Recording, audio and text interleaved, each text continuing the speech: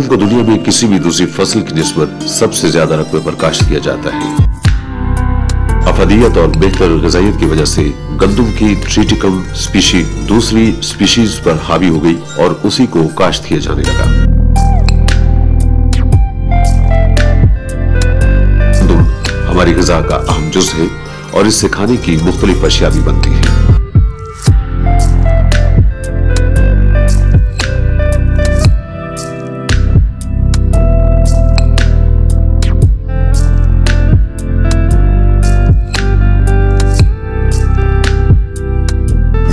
भूसा जानवरों के लिए भी इस्तेमाल होता है और इससे सनती पैमाने पर newspaper, print paper board hardboard और रफ कागज़ वगैरह भी बनाया जाता है। इसकी काश्त के रकबे में बेहतर और जामे हुकूमती पॉलिसियों की वजह से इजाफा जारी है।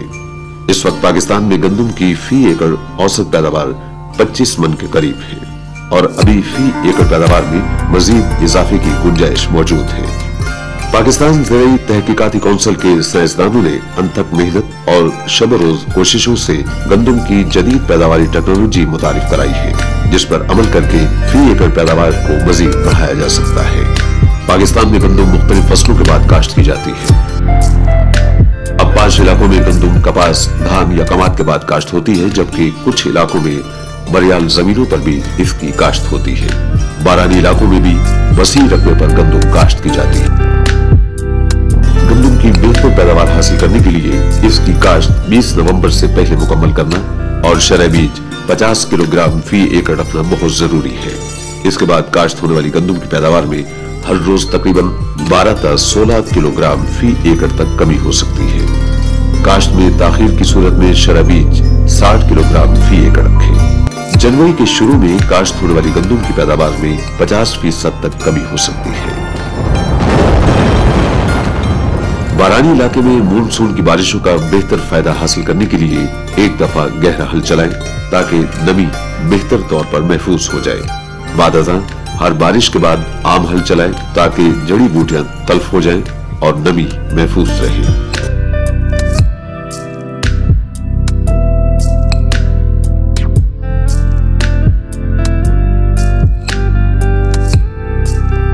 गंदम की काश्त से पहले दो मरतबा आम हल चलाकर सुहागा दे। काश्त बजरिया ड्रिल करे। आपाश इलाके की वरियाल या खाली जमीनों में वक्फे वक्फे से हल चलाकर जड़ी बूटियाँ खत्म कर दे, जहाँ ज़रूरत खेत को हमवार करे। खेत को छोटे छोटे हिस्सों में तकसीम करके रौनी कर ले। रौनी के बाद वतर आने पर हल चलाकर सुहागा दे। तकरीबन एक हफ़्ते तक जड़ी बूटियाँ उगाएगी। अब काश्त के वक्त दोबारा हल चलाकर सुहागा दे। काश्त बजरिया ड्रिल करें। चावल की काश्त वाले इलाके में फ़सल को बर्दाश्त से 15 रोज कबल पानी देना बंद कर दे। धान की बर्दाश्त के बाद वतर हालत में रोटावेटर या डिस्क हल चलाए। बाद दो मरतबा आम हल चलाकर सुहागा दे और ड्रिल से काश्त करें। मकई कमाद और कपास की काश्त वाले इलाके में फ़सल को बर्दाश्त से तीन हफ़्ते पहले पानी दे दे। फ़सल संभालने के बाद मुनासिब वतर हालत में मुट काट कर हल चलाए और रोटावेटर का इस्तेमाल करें। बाद अजा काश्त बजरिया ड्रिल करें। जिन खेतों में पानी फ़सल संभालने से पहले न दिए जा सके, उनमें बर्दाश्त और मुट काटने के बाद दो मरतबा आप हल चलाए और बाद अजा रोटावेटर चलाकर ज़मीन तैयार कर ले। काश्त बजरिया ड्रिल करें और खेत को पानी लगा दें। काश्त बजरिया ज़ीरो टेलिज चावल की काश्त वाले इलाके में अगर जड़ी बूटियों का ज़्यादा मसला न हो तो धान के मुड वतन में काश्त बजरिया ज़ीरो ड्रिल से ज़रिए आलात के कम इस्तेमाल और पैदावारी मसारिफ में बचत के अलावा जेर ज़मीन नामियाती मादा बढ़ाने में मदद मिलती है। ज़ीरो टेलेज में गंदम की अगीती काश्त मुमकिन है, जिसकी पैदावार पछेती काश्त के मुकाबले में ज़्यादा होती है। कलराठी जमीनों में भी ज़ीरो टेलेज से अच्छे नतज हासिल होते हैं। ज़ीरो टेलेज काश्ता फ़सल के बाद सुहागे की बिल्कुल ज़रूरत नहीं होती। बेहतर इस्तेफादे के लिए इन तदाबीर पर अमल करें। काश्ता ज़मीन में रिवायती तरीकाकार के मुकाबले में तीन से चार फ़ीसद ज़्यादा नमी होनी चाहिए, क्योंकि ज़मीन ज़्यादा खुश्क होने से उगाव मुतासर हो सकता है। वतन बहुत ज़्यादा गीला न हो, ताकि बीज और खाद नालियों में न रुकने पाए। काश्ता फ़सल को फौरी पानी देने से एहतियात की जाए। अगर ज़रूरी हो तो काश्त से एक हफ़्ता पहले हल्का पानी लगा दें। अच्छी पैदावार हासिल करने के लिए तरक्की दादा अकसाम का सेहतमंद और साफ़ सुथरा बीज इस्तेमाल करना बहुत ज़रूरी है। गंदम की ज़्यादा फ़ी एकड़ पैदावार लेने के लिए इलाके के मुताबिक गंदम की सिफारिश करदा किस्म वक्त पर काश्त करें।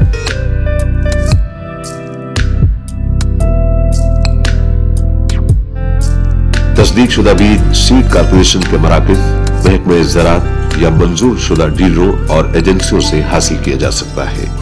बीज को दवाई लगाने के लिए मुकर्रा मिकदार में सिफारिश करदा दवाई और बीज ढकने वाले ड्रम या प्लास्टिक की बोरी में निस्फ तक डालकर अच्छी तरह हिला ले ताकि बीज के हर दाने को दवाई लग जाए। गंदम के पौधे को बढ़ोतरी के नाजुक मराहल में पानी की अशद ज़रूरत होती है। इन मराहल में पानी की कमी, पैदावार में कमी का बायस बनती है। गंदम की पहली आपाशी काश्त से 20 तक 25 दिन बाद करें। धान वाले इलाके में पहली आपाशी 30 तक 35 दिन बाद करें। इस मौके पर पानी लगाने से गंदम में झाड़ ज़्यादा और फ़ी पौधा सिट्टों की तादाद बढ़ती है। दूसरा पानी गोब की हालत, यानी काश्त के 80 तक 90 दिन बाद दे उस वक्त पौधे के अंदर सिट्टा बन रहा होता है इस मरहले पर पानी लगाने से सिट्टा बड़ा और दाने ज़्यादा बनते हैं। तीसरा पानी दाना बनने की हालत, यानी काश्त के 125 ता 130 दिन बाद दे। इस मरहले पर पानी लगाने से दाने का साइज़ बड़ा होता है और पैदावार भी ज़्यादा होती है। अगर मौसम खुश्क हो और पानी भी मौजूद हो तो ज़रूरत के मुताबिक फ़सल को पानी लगाया जा सकता है। गंदम की अच्छी पैदावार हासिल करने के लिए कीमियाई खादों का बेहतर तनासब और बर वक्त इस्तेमाल निहायत अहम है। कीमियाई खादों के इस्तेमाल का इंसार ज़मीन की जरखेजी, पानी की दस्तियाबी और फ़सलों की कसरत या हेर फेर पर होता है। नाइट्रोजनी और फास्फोरसिक खादों का तनासुब एक एक या एक डेढ़ तक होना चाहिए। आपाश इलाकों में फास्फोरसिक खाद की तमाम मकदार और नाइट्रोजनी खाद की निस्फ मकदार काश्त के वक्त और बाकी मानदा नाइट्रोजनी खाद पहले या दूसरे पानी के साथ दे। बारानी इलाकों में फास्फोरसी और नाइट्रोजनी खाद की तमाम मिकदार बवक्त काश्त दे। अगर नाइट्रोजनी खाद काश्त के वक्त न दी जा सके तो पहली बारिश के साथ दे दे। ट्यूबवेल के पानी से सैराब होने वाली जमीनों और चावल या गन्ने के बाद काश्त होने वाली गंदुम में पोटाश का इस्तेमाल भी ज़रूरी है। गंदुम की फ़सल में नोकीले और चौड़े पत्तों वाली जड़ी बूटियाँ पाई जाती हैं। खुदरा और जड़ी बूटियाँ गंदुम की पैदावार में 12 था 35 फ़ीसद कमी का बायस बनती है। इनको तल्फ करने के लिए गोडी भी की जा सकती है। अलावाजी, पहली और दूसरी आपाशी के बाद वत्र हालत में बारहरों चलाने से भी जड़ी बूटियाँ कंट्रोल हो सकती है। जड़ी बूटियों को कीमियाई तरीके से भी कंट्रोल किया जा सकता है। नौकीले और चौड़े पत्तों वाली जड़ी बूटियों को कंट्रोल करने के लिए मुख्तलिफ़ अकसाम की कीमियाई अद्वियात दस्तियाब है।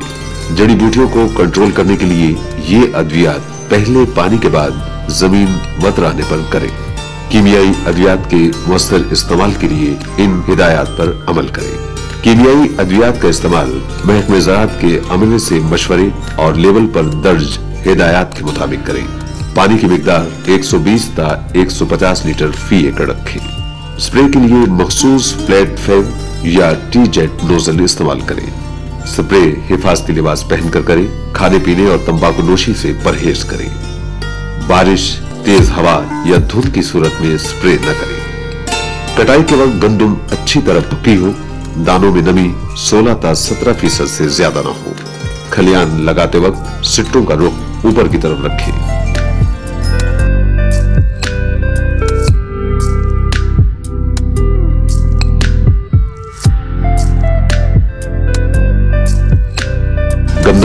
गंदम अगर थ्रेशर या कंबाइन से की जाए तो वक्त की बचत के अलावा दानों का नुकसान भी कम होता है।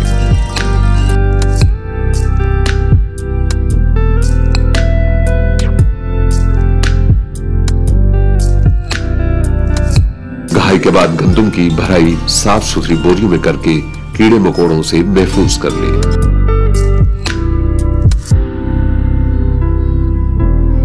या गंदुम को घाई के बाद अच्छी तरह साफ़ करके साफ़ सुथरे गोदामों में जखीरा कर ले। जखीरा करते वक्त दानों में नमी नौ तक दस फ़ीसद होनी चाहिए। चूहों और कीड़े मकोड़ों के इंसदाद के लिए गोदाम में फ्यूमिगेशन करें और इनको हवा बंद कर दें।